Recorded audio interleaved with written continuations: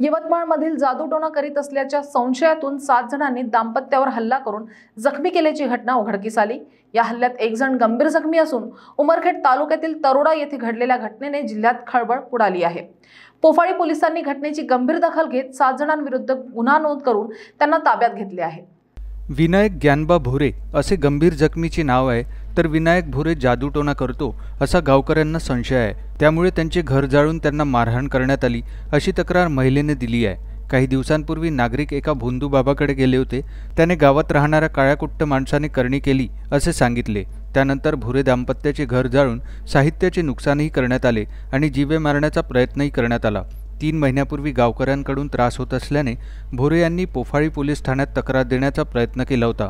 मात्र पोलिसांनी समजूत घालून त्यांना गावी परत पाठविले असे त्यांच्या नातेवाईकांचे म्हणणे आहे. अंधश्रद्धेतून घडलेल्या या घटनेमुळे जिल्ह्यात एकच खळबळ उडाली आहे.